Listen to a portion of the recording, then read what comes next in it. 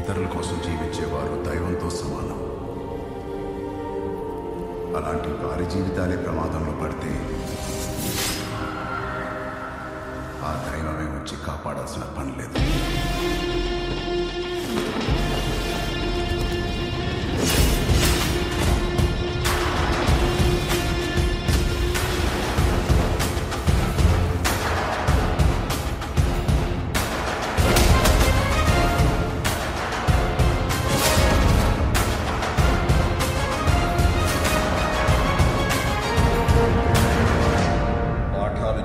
అలవాటు లేకపోయినా అందరూ ఎందుకో ఆచార్య అంటుంటారు.